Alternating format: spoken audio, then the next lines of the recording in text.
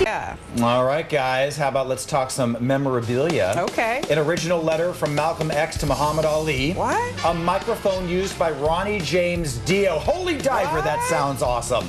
That's That one of his really songs, good. yeah. Holy good. Diver. Okay, okay, yeah. okay. Coming up, a memorabilia expert tells us what's on tap for an online auction that's less than a week away. Ooh, look at that. We're talking about some cool collectibles, my friend. I know you're all in over there. Oh, I'm seriously, I'm in heaven over uh, over here with this stuff. Uh, we're talking about cool collectibles that you can get your hands on. There's a live online auction going on later this week, and we need WD-40 for that camera. Uh, and one of the items gears around boxing legend Muhammad Ali. I'm just having the best time talking to memorabilia expert Kieta.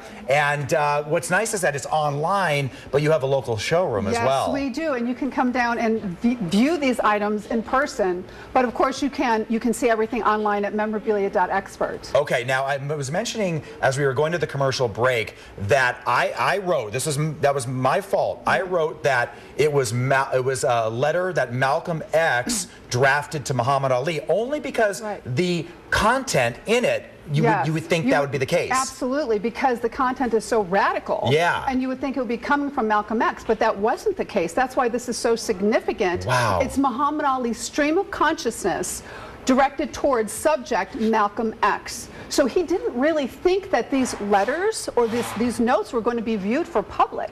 Which Wow. is very, you know, very key.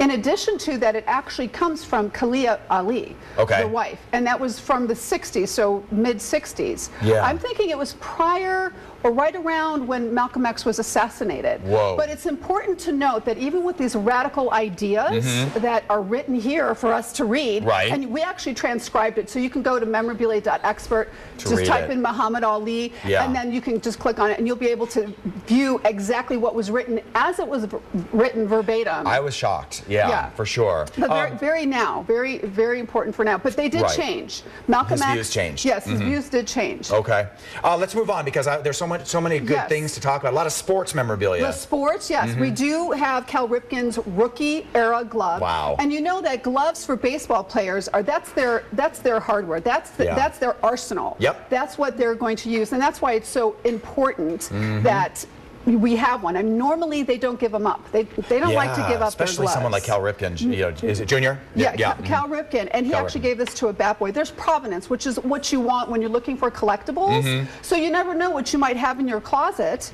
or I don't know, if it's through an error, Yeah. and you may not know what you have. And we also offer that too, as well. Is that you know, it's Ask Me, memorabilia.expert, and, and it's easy to go online and ask the question Oh, of what you might have. Okay. You know, that's how this like with the Superman. I love Superman. Yeah. Right. I mean, Okay, hello, right, right. fabulous, and especially with the resurgence mm-hmm. of all the superhero movies that are coming out. Right. We have this cape, which is from 1955. Wow. The TV series worn by George Reeves. Yeah. That is very, very difficult to keep intact from that long ago. It looks brand new, you Yeah. know, but it's not. No, it's not. It is. It's felt. Mm-hmm. It's the red felt. And understand that this was actually from 55 when they switched over from black and white to color. Oh, wow. Which is very important to note. That's why it's red. I know that they had a brown cape which went over 100,000, which was from the black and white series. Okay. Um, everybody loves to see Shaq shoes. Oh yes. Yeah, Oh, I mean they're God. huge. Oh, they're huge. Huge. We can both fit in there. I know. Look at Okay, those. yes. What size? What size is They're it? 22. 22. 22, 22, yes. Wow. So they're always a conversation piece. Oh, for sure. Everybody loves Shaq Uh-huh. and his shoes. Yeah, right. Okay, big shoes. Uh, also, people, maybe not this generation, but uh, past generations love to talk about Broadway Joe Namath, right? I mean, he Oh, is my a God. character. Oh, we love Joe yeah, Namath. yep, and all of our Fantastic. all of our New York transplants. Yeah, Mhm. Yes, and you know what? What's really great, although we know Namath with the Jets, Yeah. his last game was with the Rams. Oh, right. Okay. And we actually have his jersey, his game used jersey from the Rams. I, yeah, I see that right down there. You know, so you don't really associate Namath with that, but it was very important. Yeah. Because that was his last game.